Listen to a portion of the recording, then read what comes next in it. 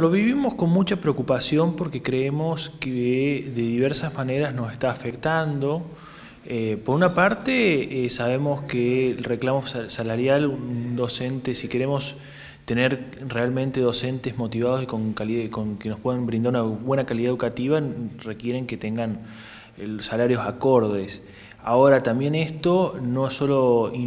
influye de esta manera, sino que también podemos decir que influye en que eh, también, bueno, tenemos claramente lo que por ahí se ve también más explícitamente, que son con los paros.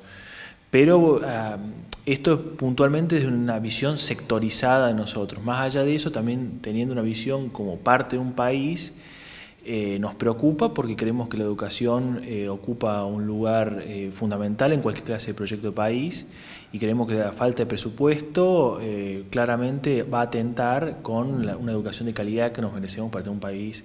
con un desarrollo sustentable. por eso, bueno, en ese sentido, esa es una preocupación viendo la educación y además podemos meter una dimensión más, todavía más general, que es la cuestión que se ha estado viviendo eh, con diferentes episodios últimamente. Uno de ellos fue tratado en la pasada sesión del Consejo Superior, eh, que, bueno, y, otro estamos tratando en este momento, que son los sucesos conocidos del domingo pasado en la Ciudad de Buenos Aires.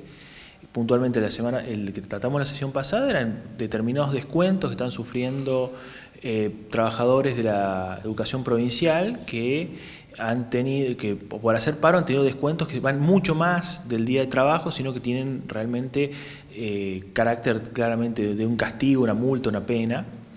eh, que eso, eso es claramente inconstitucional y claramente lesivo de los derechos trabajadores, y además de eso, estamos bueno, viendo la represión del pasado domingo que nos preocupa, y entonces también nos preocupa en estos dos casos, que es lo que los une, que nos preocupa que está habiendo ya un ataque a los derechos civiles, un ataque a determinados derechos constitucionales y esto ya va a algo más amplio en lo que es ya la defensa de la República y la democracia.